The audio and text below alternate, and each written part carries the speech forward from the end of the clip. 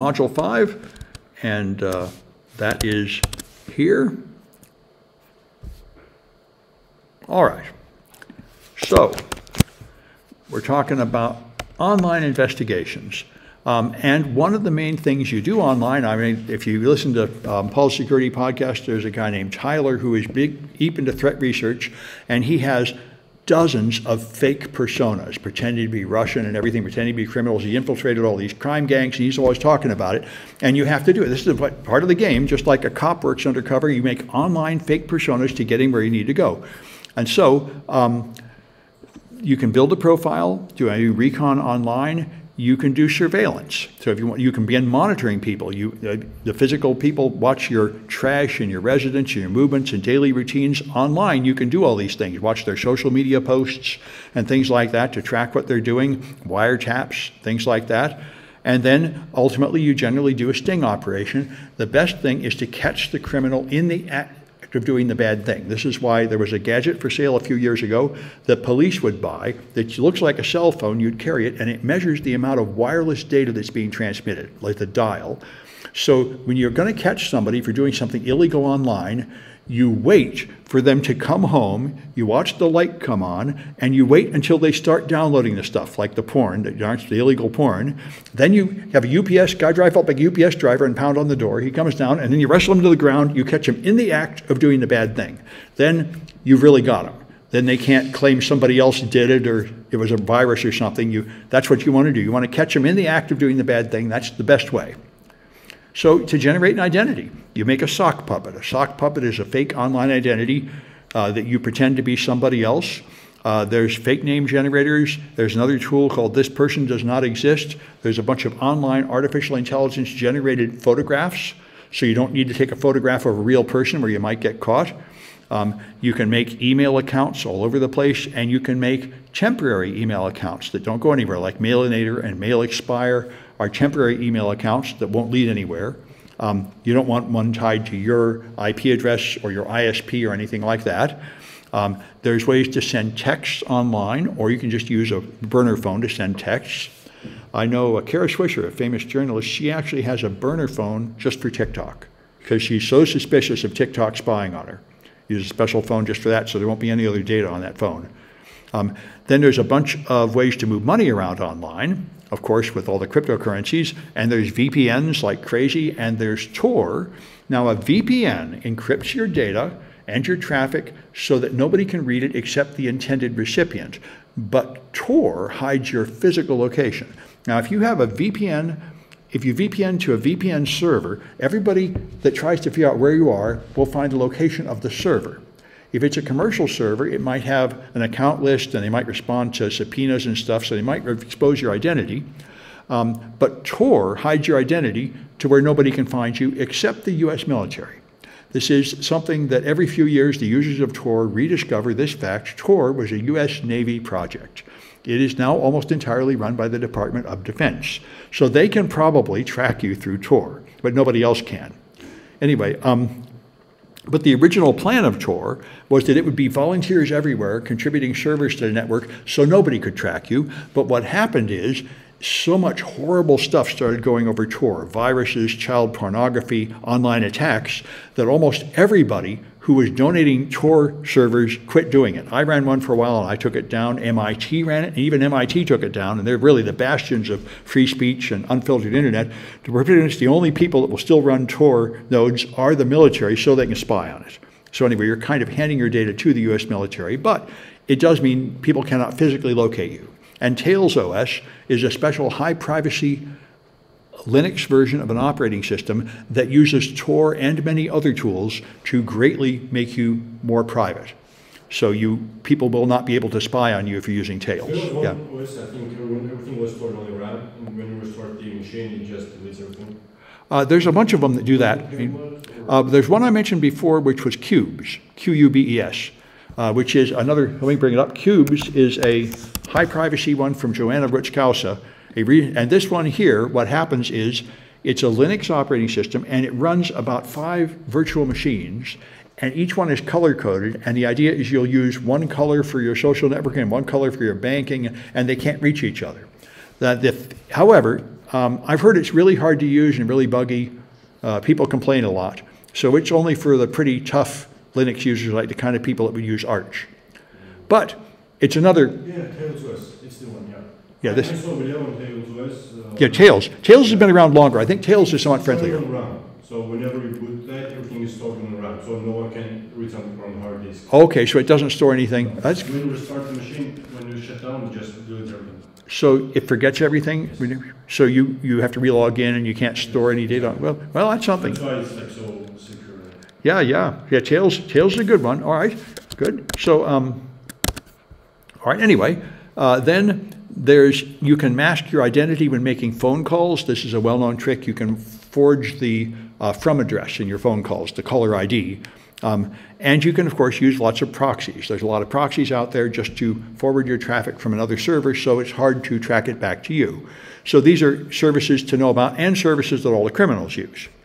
Um, so law enforcement can use a program to track criminals by switching phone carriers or use reverse lookups. They have some ability to punch through anonymity uh, actions in the telephone network. Um, and that's because of CALEA. There's a law which requires the phone network to provide assistance to law enforcement, like making it possible to tap a call and they, they can do a wiretap on phone calls. There is no way to wiretap Skype or online chat or instant messages or anything because internet companies do not provide that because they don't have to. Uh, the FBI has been trying for at least 20 years to pass a CALEA for the internet so all the internet service providers and companies would have to provide wiretaps for internet traffic, and that law has never passed. So there is no way to intercept telephone calls done with Skype or other online services right now. Uh, A mobile phone? Uh, that goes through the normal phone network and it can be wiretapped. It can also be stingrayed, which is mostly what they do. They will drive a truck near your house and put up a fake cell phone tower, which has a higher power than the real one, and all the phones will connect to it. Then they downgrade it to use like GPS 2, so it uses, or whatever it is, version 2, so it uses an old weak encryption they can crack, and then they can intercept your phone calls. But, but you don't, you don't have like text messaging, messaging based entirely on the internet. Uh, text messages are unencrypted and they're incredibly easy to intercept. People do it all the time. I don't know exactly how, though. But I mean, text messages are like postcards. They're not encrypted anyway, so they can be intercepted a lot of places. SMS. Um, if you use Signal or Telegram, then it's encrypted and harder to break into. And the only effective way to do it is to put malware on one of the endpoints and then steal it before it gets encrypted. End-to-end? What's that? End-to-end, It's end-to-end encrypted? Yes, end-to-end encrypted. So the way you steal that is you have to infect the endpoint and steal it before it gets encrypted. Yeah. But what about calls? Do you have any platform that offers end-to-end encrypted calls, something like that, or? Um, Skype, I think, is not end-to-end encrypted calls. Um, I don't think end-to-end. Because if that's like what's called official law, like. Well, supposedly WhatsApp, but that's text, right? I don't think it does sound. Text, I know, but I- I've Um, heard it called. being- Well, you know, it's a good question. I, uh, I do not know of anything that gives you an end-to-end encrypted voice call. In principle, it could exist, but I don't think they have a voice calling feature in Telegram or Signal. That would be the place to put it. Uh, somebody probably knows, but I don't know of it. It's a good question. Let's see if anybody online has the answer. Is there an end-to-end encrypted voice call? Um, aren't texts iOS to non-iOS unencrypted? Yes, I think all texts everywhere are unencrypted. And the Patriot Act, I'm not sure it covers the phone communication. That was already pretty much wide open anyway because of CALEA. But the Patriot Act does give the government um, the rights to sort of blast through all privacy protections if they claim that they're investigating a case of terrorism. Um, although it's gotten a lot worse than that. The NSA, in fact, spies on a lot of American citizens illegally and leaks it out illegally, and they're pretty much getting away with it right now. Um, so your privacy in America is quite questionable. And if you're not an American citizen, you have no privacy at all. The government can just snoop on everything, and you have no legal protection at all. And even if you are an American citizen, they seem to like go around and do it anyway and get away with it. Um, and then, of course, there's the dark web. Now, if you go on Google and search, you're only seeing the surface web, which are pages that are just wide open and everybody can see them. And 95% of the web is not available there. Now, it doesn't mean it's all criminal. Most of it is behind a login, like your Gmail. Your Gmail is not a secret, not classified, but it's just not, you have to log in to get to it. So it's part of the dark web. But most people worry about is the, the Tor-based dark web. And that is stuff that is hiding because it's really illegal or dangerous or something. Um, so there's a framework here to help you organize your, your online searching with all these different categories, dating and blogs and language translation. And if you look at the dark web, they've expanded it here, and so you can get general information about the dark web. There are clients. To get on the dark web, you need a Tor client. You need the Tor Vidalia browser, and you, a client lets you go into the Tor network. See, if you use Tor as a client, then it hides your traffic so nobody can tell who you are when you're browsing the web. But you can also put a server on Tor, and now nobody can physically locate that server. In fact, nobody can even reach it unless they connect to Tor. So you have to run a special client, and now you can surf the dark web, which are people who have hidden their physical location, almost always because what they're doing is illegal. Uh, You could do it just because as some kind of stunt or because you're a privacy fanatic, but 99% of the people that do it, they do it because what they're doing is illegal.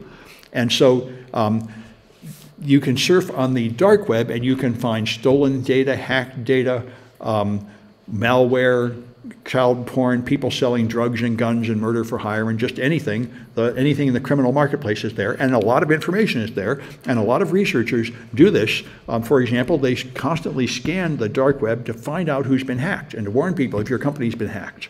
Um, as people dump the data. So there are scanners to try to find things on the Tor network, and there are directories of things that choose to be public, uh, and various things like that. In general, we have Tor address is usually like about 40 random characters, dot onion, so nobody will ever find it by trying to search them all, but there are various directories. And of course, most people do publish the address of their Tor server. Nobody would ever find it otherwise, but they usually publish it on like a forum somewhere or a Telegram group to the interested people, and it's usually not intended to just be public, but there is a listings of the ones that do become public. And of course, some of them are looking for general traffic like the Silk Road. I don't know, the Silk Road and Silk Road 2 both went down. I don't think there's a third one, but they're equivalent ones, marketplaces, which are supposed to be like eBay for illegal stuff.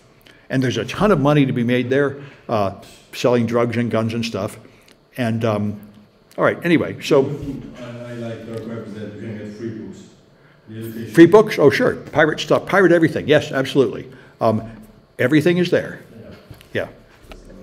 Of course, you don't know if it's got viruses in it or anything, so you want to be careful, but you know, it's the same as the torrents. Yeah, there's, there's a lot of stuff available. Uh, I remember one time I was doing a malware research project and I needed a file and I couldn't find it and I searched and searched and finally I found myself downloading a gigabyte of malware from an Iranian torrent site and that's when I said, I'm going to just walk away from the computer and rethink my life choices. I've ended up in a dark place here. There's probably some other way to do this project that is not this insane. but you know, you, you, I try this, I try this, oh, this might work, this might work, and pretty soon you're in some dark place you really shouldn't be in. Anyway, uh, let's see. Normal SMS messaging, yeah. Have I been pwned? Does something like that? Well, let's see. Um, I have not used Bard to get information from my Gmail accounts. I just read about that today. Bard will supposedly now search your Gmail. So if you choose to, so I haven't tried it, but that would be interesting. Um, and uh, all right, uh, normal SMS messages, yeah. All right. So anyway, um, all right. So that's Tor. We've talked about it. Um, and uh, it has underground sites like the Silk Road and many others where various things are going on, almost all of them somewhat illegal. And they end in dot .onion, although I have seen some domains that claim to be Tor hidden sites that didn't end in dot .onion, and I didn't completely understand that. I thought they all ended as dot .onion. I think there might be a few other domains now behind Tor. So Tails is the Linux operating system that provides anonymity through using Tor and other products. And there's another thing like Tor called the Invisible Internet Project. I've never used it, but it's another Tor-like anonymity system. And then there's Freenet. Now, this is IRC. IRC is the original instant message program protocol. It started in, I think, like the 70s or 80s, and originally you'd have people using a Unix server, and you would chat with other people using the same Unix server because they go to the same college or belong to the same company. That's all it was. And then people connected the Unix servers together, so you get from one to the other, and you could send these chat messages back and forth among the community of people that knew how to use this. It was sort of in the early days when there was email and this was the only instant chat message. And it, um, there's a, it's been around forever. It's almost all been completely taken over by bots and malware distributors and spammers to where um, there was a guy that got so tired he used it. He said, People keep saying it's malicious. So he did a study and he found out, yes, it's 99% malicious traffic. So there are a few freenet groups that are actually people talking to other people, but mostly it's stolen property, porn, malware, and horrible things like that. But anyway, technically, it's, it's an instant message giant. It's out there. There are also secure drops. There's a bunch of these. Uh, this all came from Snowden. When Snowden wanted to leak out top secret NSA information to a reporter, he had a problem. How do I send it to them without the NSA catching it? And he worked for the NSA, he knew what they could do. The thing that would work would be PGP email, which is encrypted. But the problem with PGP is in order to receive email, you have to generate a public private key pair and send someone the public key, which is not easy to do. In fact, about five years ago, I took my CISSP class and I required them all to use PGP email and by the end of the semester, only about half the class had succeeded. It is really hard to do, and all the tools to make it easy don't work. So it's really painful. So he couldn't send his data to the reporter because the reporter couldn't do this. The reporter had to bring in a technical assistant, and Snowden was recording like YouTube videos telling you how to do it to try to get them to generate this stuff. It's hard to do. So after that, all the news agencies um, wanted to get more leaks because they made a lot of money by writing news articles about the Snowden leaks. So they each opened their own secure drop. Now, the um, first one, the big one was WikiLeaks. WikiLeaks was Julian Assange, and WikiLeaks was very popular where you donate stuff and he would publish it, but he totally leaked out the identity of his sources a couple times. This is how Chelsea Manning got arrested. WikiLeaks leaked out the identity of the person that leaked this classified military secrets. Now that's really rude. When you have a whistleblower that tells you illegal stuff and then you publish it, they don't want to get caught. That's kind of the whole deal. So the Washington Post and everybody else set up secure drops. They have an online system where you can send them information, and supposedly it will be encrypted and hidden so they don't know who sent it there and they can't be subpoenaed for it or anything. I don't know how well they work, but everybody has it now. Every major news agency has a place to leak in secure tips. Um, I haven't heard anybody analyze them to see how good they are, but in the past they have not been good enough. Anyway, um, and then, of course, dark web marketplaces where you can uh, sell anything, just like eBay. And the Silk Road was the famous one. And then Silk Road 2, run by Ross Ulbricht, who they arrested like one mile from here up at the Glen Park Library. Um, he was the CEO, he was the guy running Silk Road 2, and he didn't bother to use his VPN all the time. So sometimes his real IP address was visible to the FBI, so they tracked him down and arrested him at the library. Um, so in here you just find all sorts of illegal things for sale. And then Playpen. Playpen was the child pornography site. Um, and there you would get privileges by uploading homemade child pornography. So a lot of these people were in fact kidnapping children and using them for pornography and then killing them and stuff, which is what they do. Um, in fact, I I've talked to FBI agents whose job is to go bust the people in Santa Rosa that have children in cages in the basement because they're making this stuff. It's, I think, the top law enforcement priority, or it used to be before terrorism bumped it, um, to stop this. So it's a really big deal. And so what the FBI did was they hacked into it. Now, this is how you take down a marketplace behind Tor.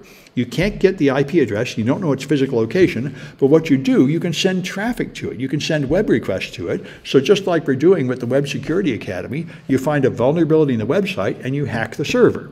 Then you put malware on the server and they deface the page where it says there's a security problem. You need to download the next version of Firefox to be safe. And when in that one, they put malware that would send your IP address back to the FBI. So that way they were able to get the people that were viewing the site to expose themselves and become known to law enforcement, and they caught a bunch of them that way. So they got 350 arrests. But the problem is, it was controversial, and I think they actually had to drop the cases because the FBI was in control of the server for two weeks, installing malware onto computers, and this was all questionably illegal.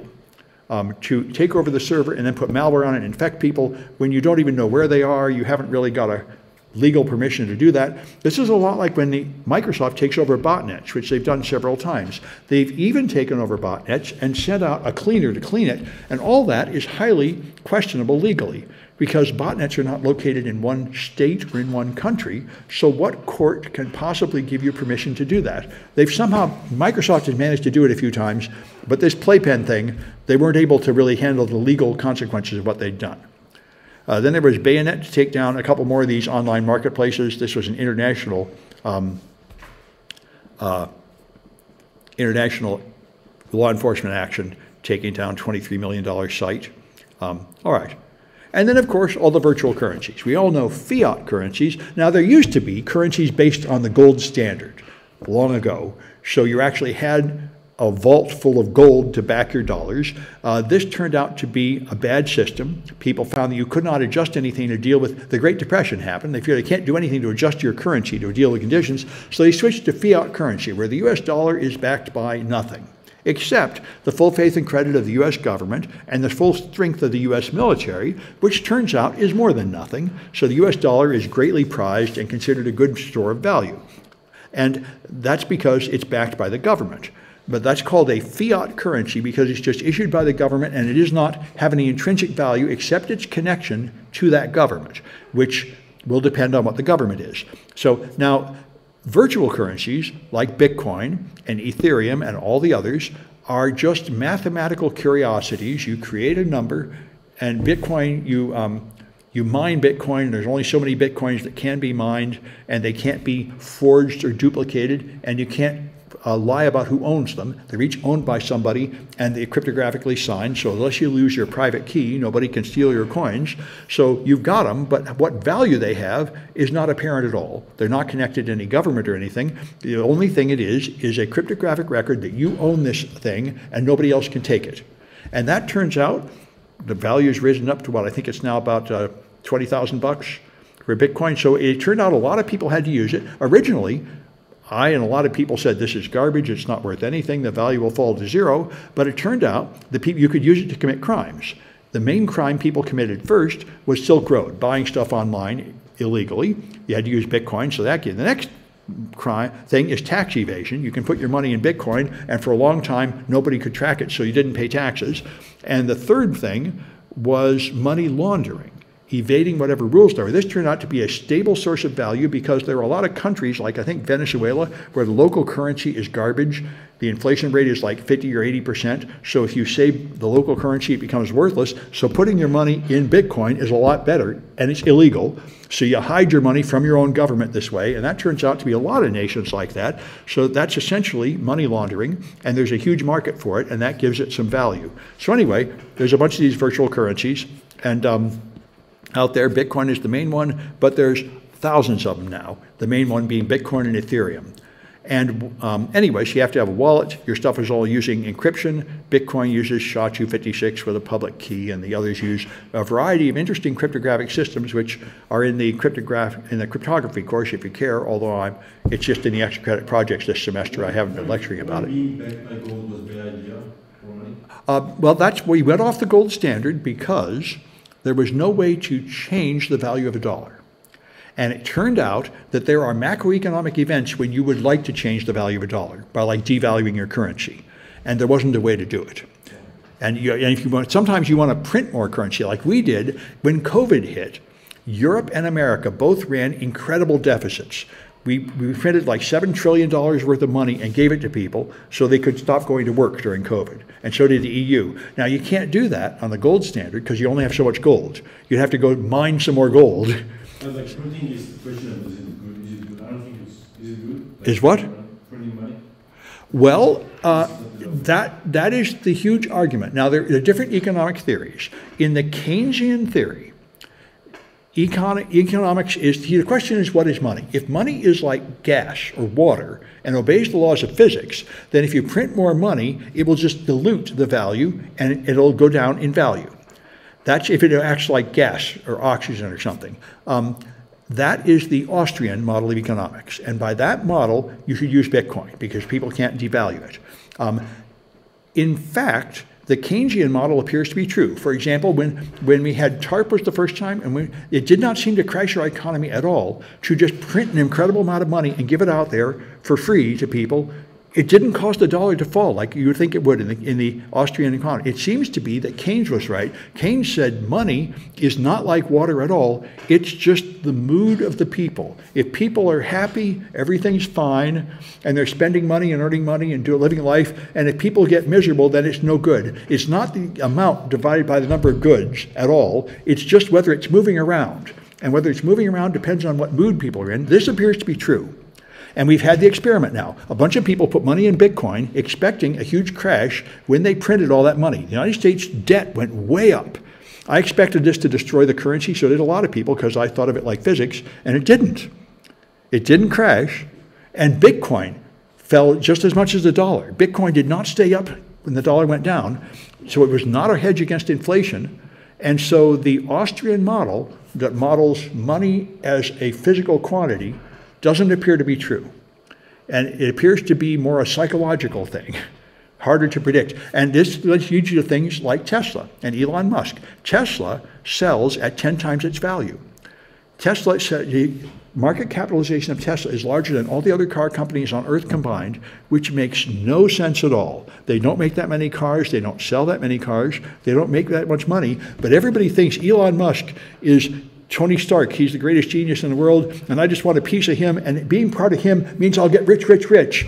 And it appears to be true. It just went up again. He blew 50 billion on, on Twitter, and he just made more than that as Tesla went up.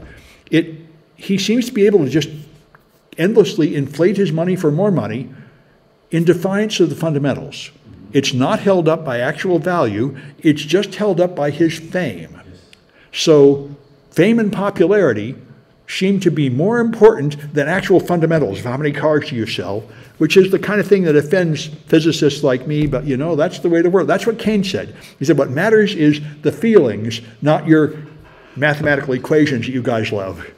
Um, but I mean, this is only my opinion, uh, but I do say uh, the Nobel Prize winning economist, Paul Krugman, keeps writing articles in the New York Times explaining this, how you don't need to worry about national debt and just printing all this money is just fine. And I keep saying it can't be fine, but he keeps saying it's fine, and he appears to be right, and I appear to be wrong.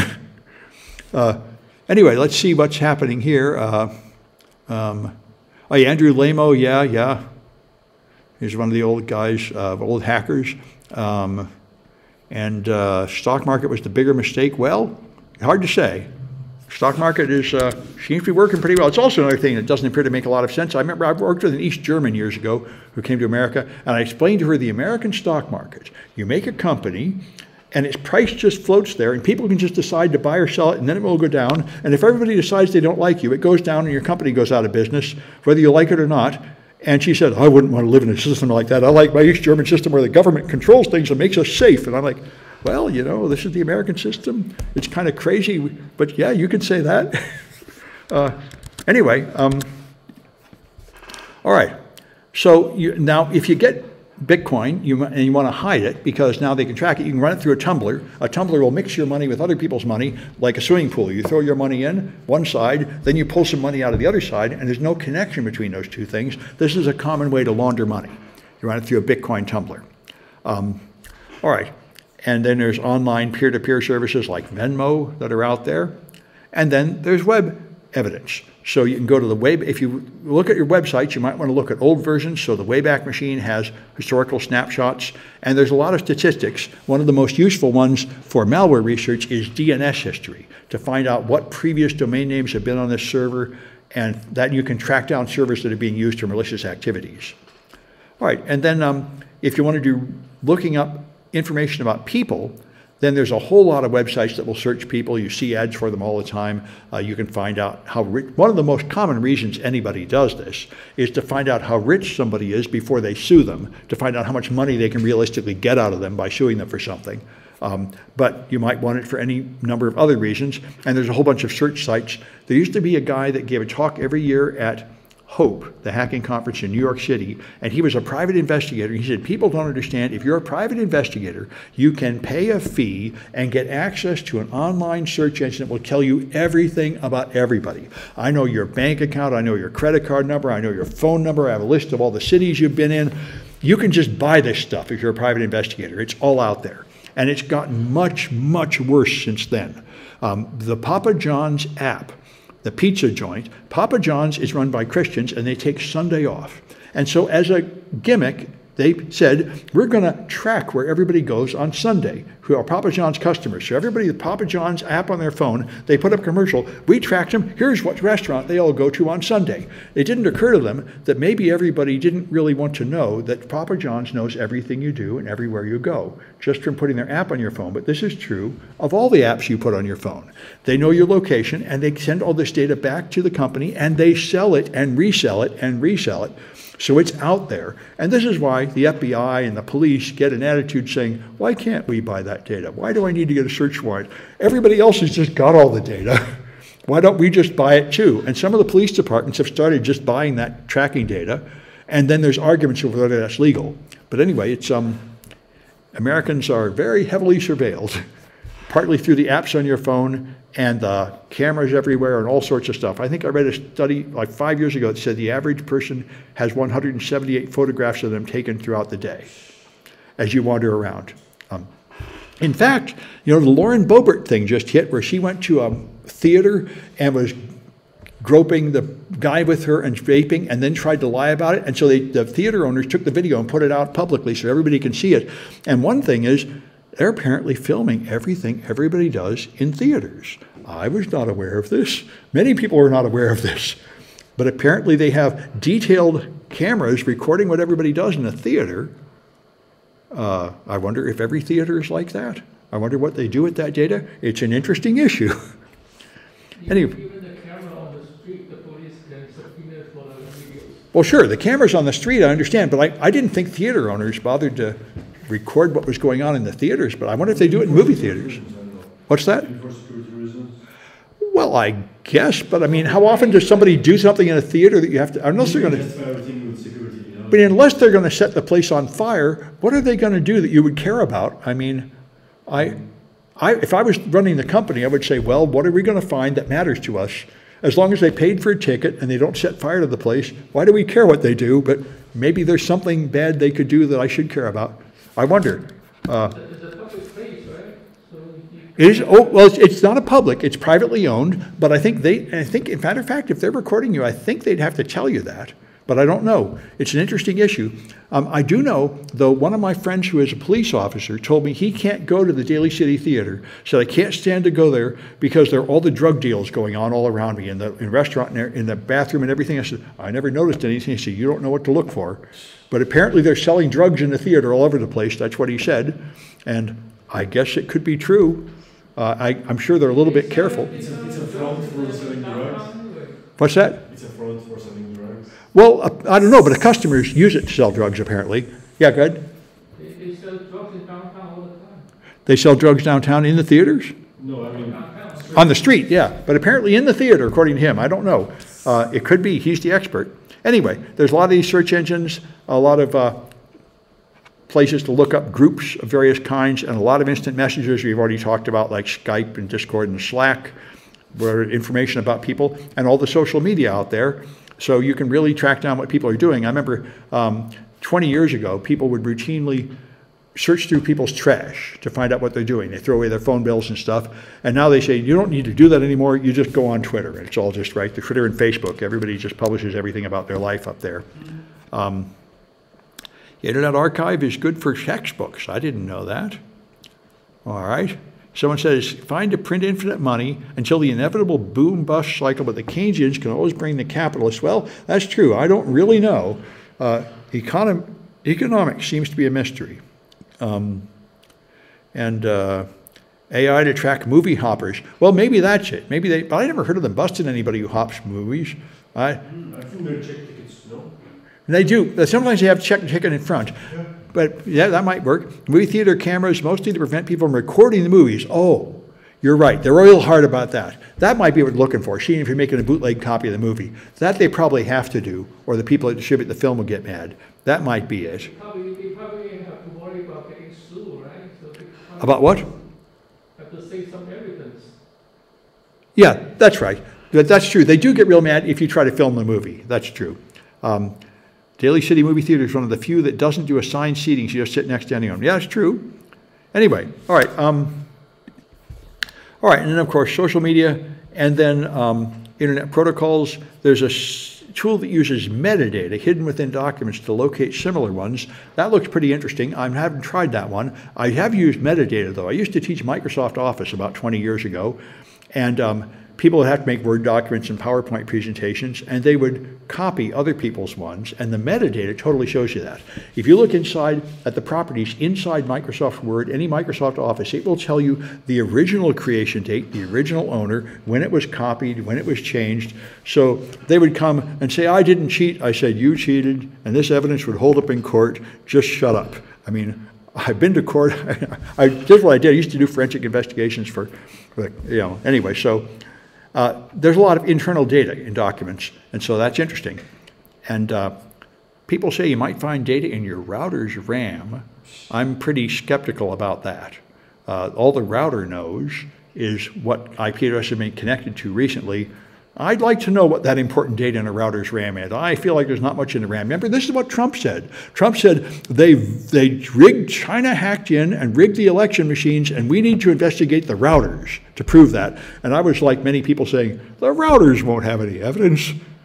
But anyway, maybe. Did they, did they I mean, the routers have many stuff nowadays, I don't know, Exchange, for example, Router, well, routers just have a record of what IP addresses have been connected to recently, so they would tell you that, but they don't have the contents of the data or anything. So you might, yeah, but, yeah, anyway, um, Unless they hotwire one to capture all the data. what's that? Unless they hotwire one. Yes, all the data. that's true. Now, you can put malware in routers, and then it can do things like copy data and stuff. That's true. But, but router just running as a router doesn't really keep track of much of anything. Anyway, so law enforcement um, has got a lot of centers that are out there to help organize this stuff, like NCIC is out there, and National Counterterrorism and so on, and Interpol for international ones.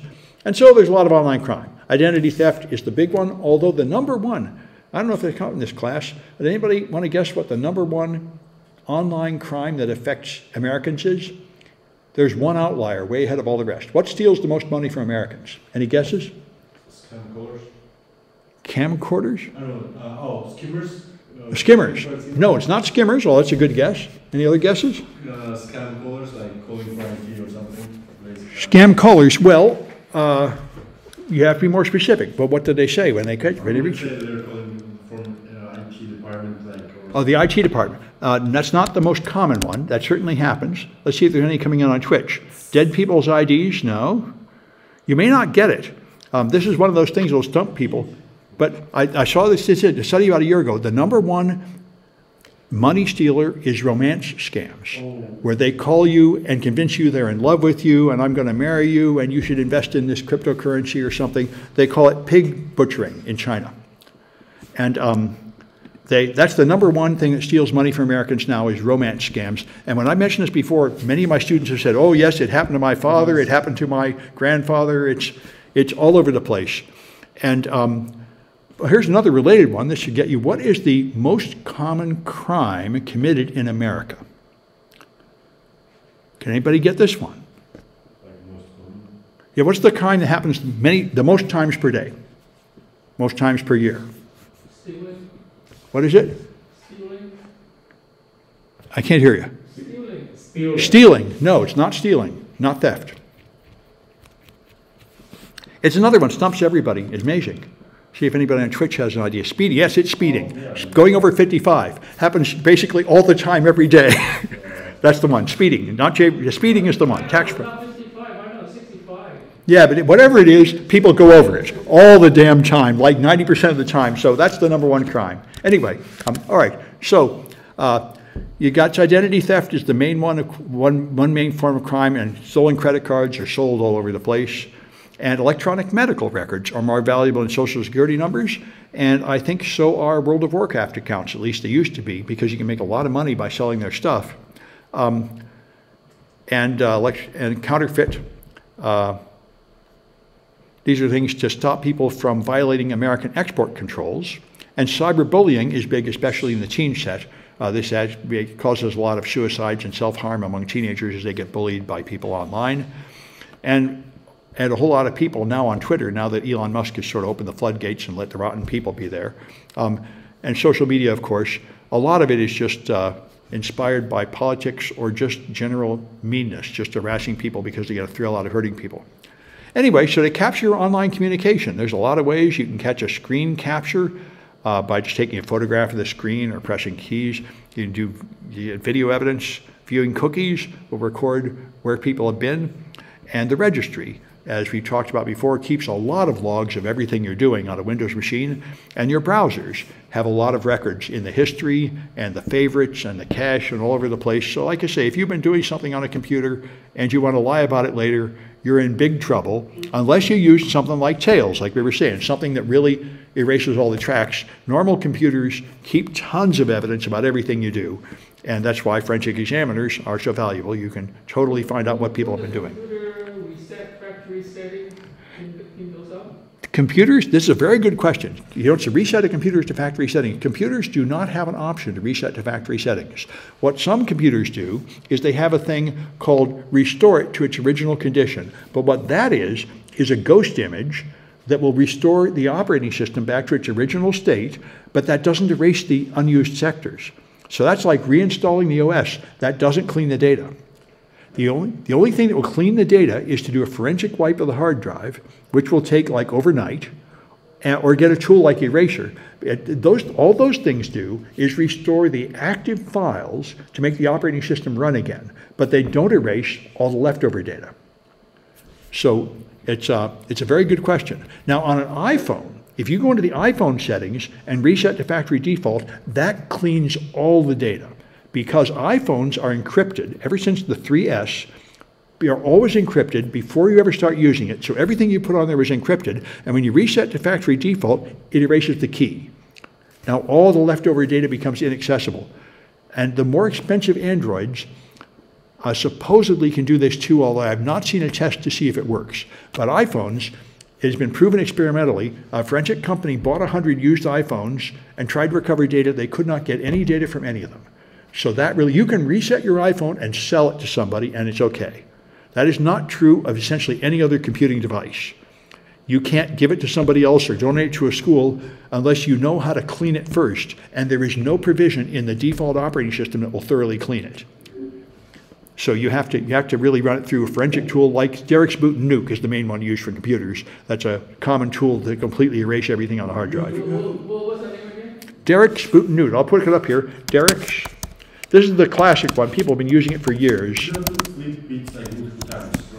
Yes, Darik's Boot Nuke is the classic one, DBAN. This will do like seven or 14 passes with random things, and uh, it'll completely wipe it out. There are simpler tools like Eraser and like the DiskPart built into Windows that will do it, but this is the classic one people use, Darik's DBAN. Everybody loves this. The, the, the, nowadays, the operating systems are pre-installed, so you, you don't, you don't have the, the, um, the, the, the, the anymore, so how, how Don't, or you, I think you can probably put it on a USB stick. The original one you put on a, you had to boot from this, and then it wipes out every drive on the machine. So, Uh, one, one thing is, you know, if, if you, if you wipe out, you know, like using this tool to wipe out the, the drive, you, you have to find another way to, to get the operating system back. Absolutely. It wipes everything out, including the operating system, including, so you'd have to make a backup first or have installed disks. Yeah. So that's why you normally do it because you're done with that machine. You do backup, you also back up all the data, right? That's right. That's right. So I mean, well, if you, but you don't, if you back up, you don't back up the deleted files. You know, a normal backup utility only backs up the active data. So if you wanted to get rid of the old files, you could do like that restore you described, then do a backup, then do a Or you can DBAN. just Set up, like, there's a Windows installer, you can set up, like, boot, like, from fresh. For this, No, no, I mean, for if you wanna, like, uh, uninstall Windows. Where you want to install Windows, Yeah. you get, you get a Windows installer ISO, or, and then you boot from that, and then you install the operating system. But when you do, it does not erase all the empty data. That's why reinstalling Windows doesn't clean your machine. First you First you use this, then you reinstall the OS and all the apps. You have, you still have to somewhere find the key to, for the installation. You'll need the key, and you'll need all the keys for all your software and all that, so it's not a small thing. That's why people don't normally do this for a machine they're using. They do this when they're giving away a machine or throwing it away. That would be normally the case, because of course, your machine becomes unusable, and it's a lot of work to rebuild it. so wouldn't it be better that you like, uh, reset all, you reset your machine to factory setting and then do the backup and then erase it to? erase Yes. the And then load it? Yes, that would work. If you reset it to defaults, and then backed it up, and then debanned it, and then recovered from that image, then you'd have a machine that didn't have any old data. I think that's true. Very good. They're just the right questions. All right, now let's see what's happening. God loves DBAN, okay. Um, uh, Isn't it possible to create a fake screenshot? Oh, it totally is. In fact, there was a famous case where somebody actually did this. They hated their boss, so they went to their boss's machine and put like kiddie porn on it and tried to get their boss in trouble for it. This did happen. This sort of thing people think it could happen. It really happened. So you can do that. You can frame other people. Um, Images have metadata. Are there logs for deleted VM on the main machines? Um, no, I don't think so. I think if you run a virtual machine and you surf the internet and that, and then you delete the virtual machine, I think it would all be gone. Although I'm not entirely sure. You'd have to test that. That's a good question. If you use a virtual machine, are there any logs on the host of what was happening in the virtual machine? And I would think not much, but maybe something, especially if you have shared folders turned on. Um, but that's a pretty good idea. If you used a virtual machine to do stuff and then you deleted the virtual machine, uh, the problem is when you delete it, the deleted files are not gone. You would have to forensically erase that virtual machine. If you delete the files, the data is still there. So you'd have the same problem. Yeah, everything in the virtual machine is really on the host machine. Now, if you encrypted the virtual machine with BitLocker or something, then maybe it'd be okay, but you'd have to test it. I don't wonder where that key is. These are good questions, and I don't know the answer. It's not simple. Um, I think you can spoof message data. You can, and the uh, there's DBAN. KillDisk is another tool. Okay, yeah, yep, good. All right. Anyway, there's a there's a lot of these tools to forensically wipe machines. All right, so I think that's it for this, and we should do a uh, Kahoot for lecture five.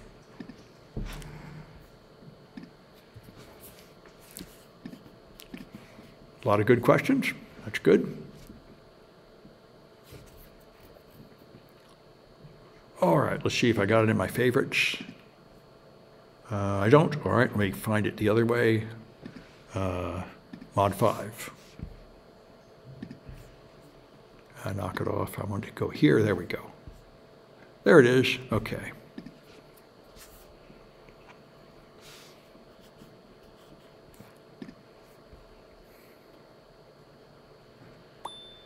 Okay.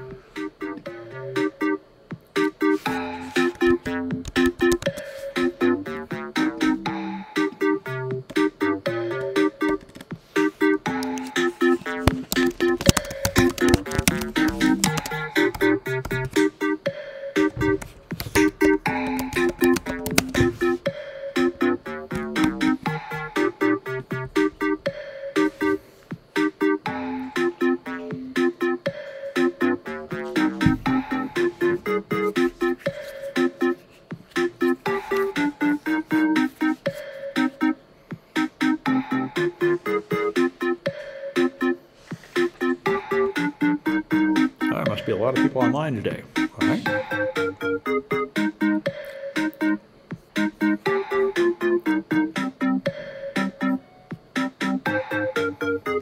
Better wait a few more seconds. This many people, there's probably still a few coming.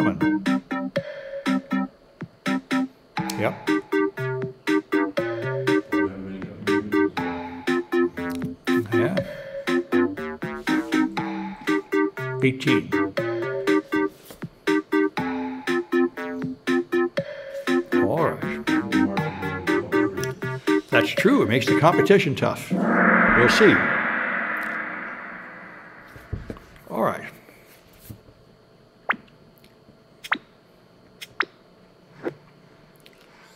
All right. What technique catches a criminal in the act?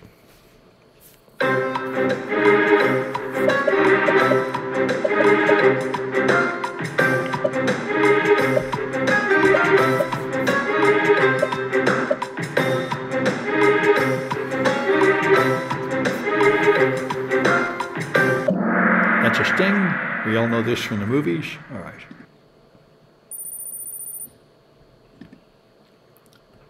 All right. What system uses dot onion addresses?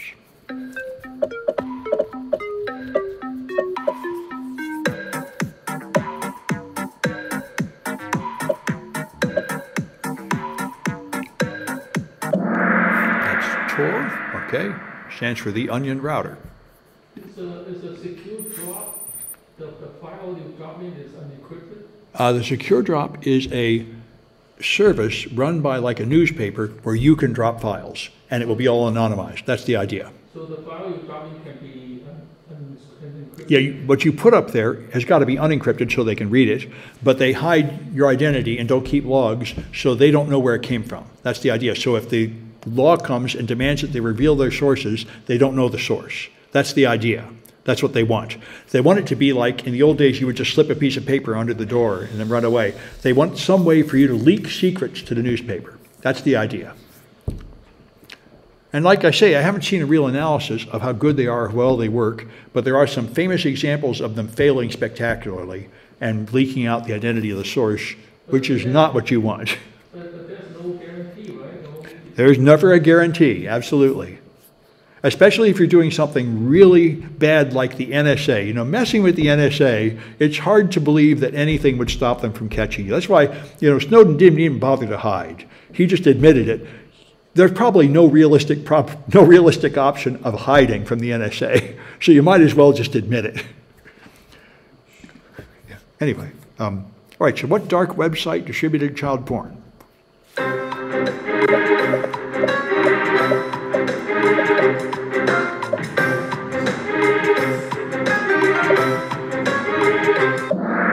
Playpen. You hit Silk Road or something, anyway. Yeah, anyway, no, that was Playpen, all right. And, uh, I thought Silk Road had everything, no? Well, Silk Road might have had some, but that wasn't the main thing. That's what Playpen's main thing was. So Playpen was the best answer. But you're right, there probably was some of that on Silk Road too. It had pretty much everything. Right, and where's the public record of cryptocurrency transactions?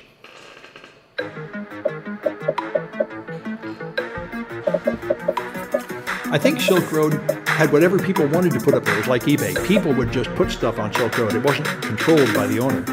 So probably anything. Uh, it's the blockchain, of course. All right. Yeah. Was a ledger one of the options? Oh, a lecture about the dark web? Yeah, I don't know. I don't know that much about it. I've only done simple things on it. There's other people that use it a lot and know all about it. Um, Levi and Ian. All right, Tat and Levi sound like real names. Ian might be enough. Uh, my grader might not be able to figure out who you are just from that information, though. What's that? It's good for the student to learn the surveillance. To learn about, yeah, sure, good for students to learn about the dark web, sure. Yeah. Yeah,